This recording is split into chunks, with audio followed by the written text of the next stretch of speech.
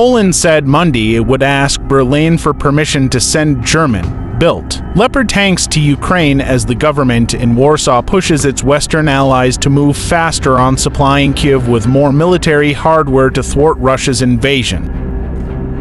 Germany has hesitated over sending tanks to Ukraine.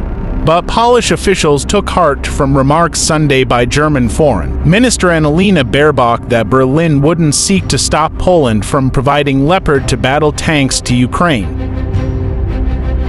Polish Prime Minister Mateusz Morawiecki didn't specify when the request to Germany will be made.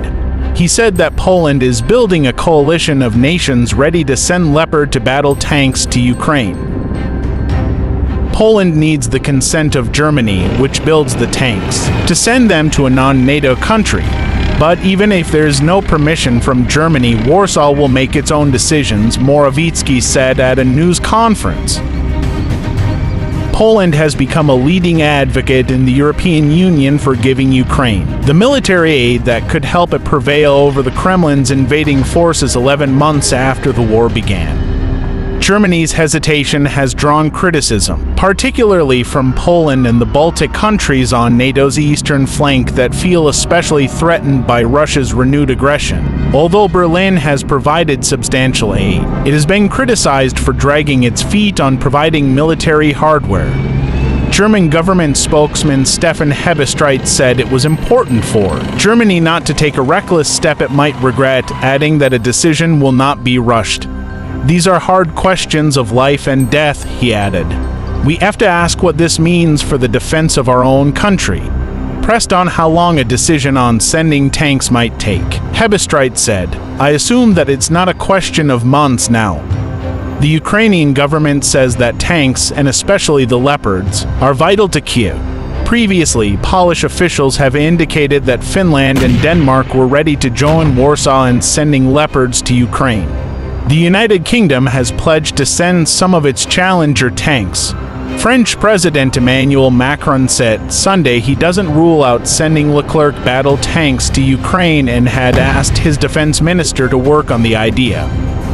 But Macron said a decision hinged on three criteria that have also weighed on the minds of other Western leaders that sharing the equipment doesn't lead to an escalation of the conflict, that it would provide efficient and workable help when training time is taken into account, and that it wouldn't weaken his own military.